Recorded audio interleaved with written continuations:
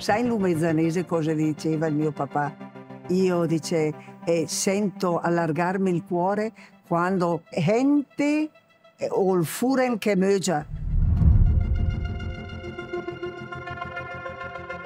la valle di Lumezzane non era né collina né montagna, quindi non aveva ricchezze e parliamo degli antenati storici, dicono che l'unica eh, fonte di eh, approvvigionamento e di ricchezza era lavorare il ferro, quindi sfruttare la montagna.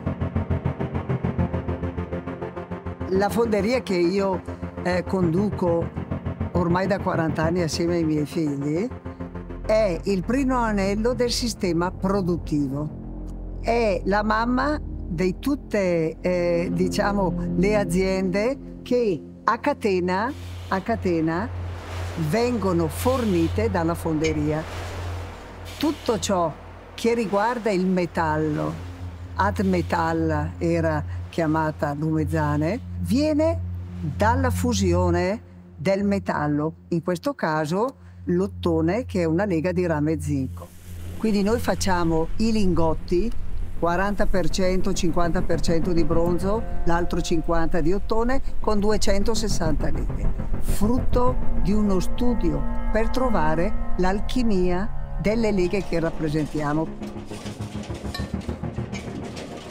Eh, mi è stato chiesto ma cosa vede lei di affascinante?